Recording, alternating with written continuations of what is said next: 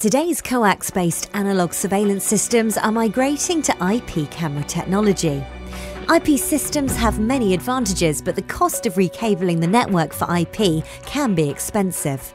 NVT's Ethernet over coax EOC transmission technology can dramatically reduce IP migration costs by allowing up to four IP megapixel cameras to be connected and powered over a single legacy CCTV network coax cable. This solution is typically one third of the cost of upgrading to a UTP based IP solution.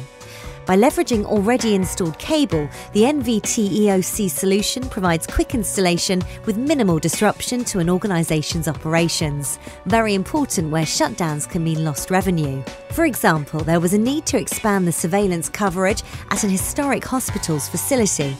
This expansion needed to be done without damaging the valuable structure or causing disruption to patient services. Four existing analogue cameras were being used to watch over the entrances and receiving area, but their coverage was no longer adequate for the job.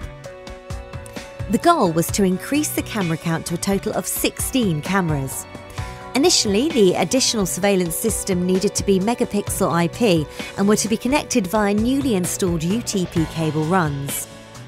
But ultimately, by deploying EOC technology, the hospital was able to connect four additional IP cameras to each of the four existing coax cable runs for a total of 16 IP or megapixel cameras in total.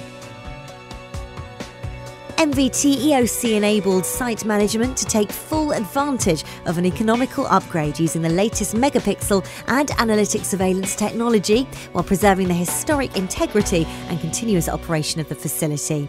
With NVT, you can now release the power of your existing coax infrastructure and gain all the benefits of IP and megapixel surveillance. With NVT EOC, remember, don't recable, re-enable.